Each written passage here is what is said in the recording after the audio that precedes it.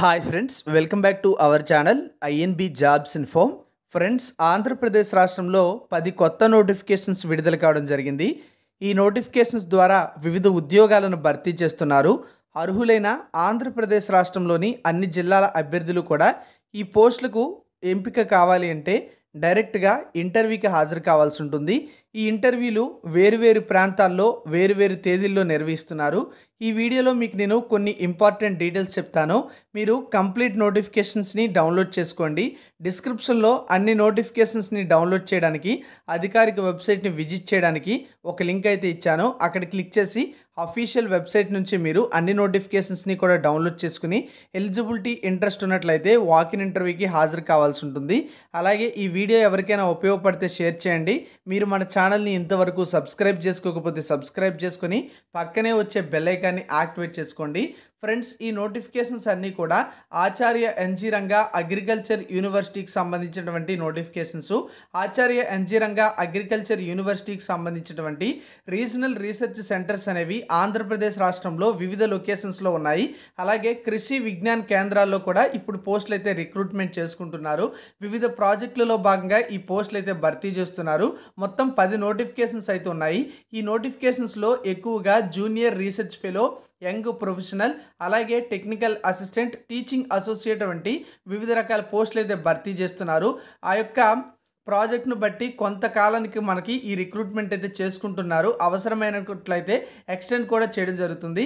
ఎవరైతే ఎలిజిబిలిటీ ఉంటారో ఆ యొక్క అభ్యర్థులు తప్పనిసరిగా వాకిన్ ఇంటర్వ్యూకి హాజరు కావాల్సి ఉంటుంది. బయోడేటాతో పాటుగా Xerox copies of educational qualification సంబంధించినటువంటి డాక్యుమెంట్స్తో మీరు వాళ్ళు నోటిఫికేషన్లో పేర్కొన్నటువంటి ప్రాంతంలో ఆ డేట్లో ఇంటర్వ్యూకి అయితే హాజరు కావాలి.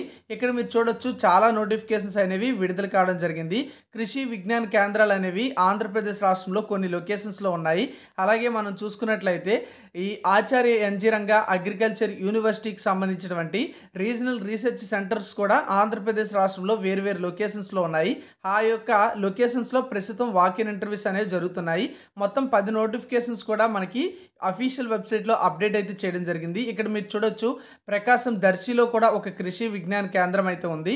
అలాగే మనం చూసుకున్నట్లయితే నైరాలో కూడా ఒక ఎన్జీ రంగా అగ్రికల్చర్ యూనివర్సిటీకి సంబంధించినటువంటి ఒక ఇదైతే ఉంది. అక్కడ కూడా మనకి టీచింగ్ అసోసియేట్ పోస్ట్ అయితే రిక్రూట్మెంట్ చేసుకుంటున్నారు. దీంతో పాటుగా మనం చూసుకున్నట్లయితే ఇక్కడ ఎన్టీఆర్ డిస్టిక్లో కూడా ఒక కృషి విజ్ఞాన కేంద్రం అయితే ఉండడం జరిగింది. ఆ ఎన్టీఆర్ డిస్టిక్తో పాటుగా మనం మరొకటి చూసుకున్నట్లయితే మార్టేరులో కూడా ఒక డిస్ట్ ఈ రీజనల్ అగ్రికల్చర్ రీసెర్చ్ స్టేషన్ అయితే ఉంది. ఇది వెస్ట్ గోదావరిలో అయితే ఉంది.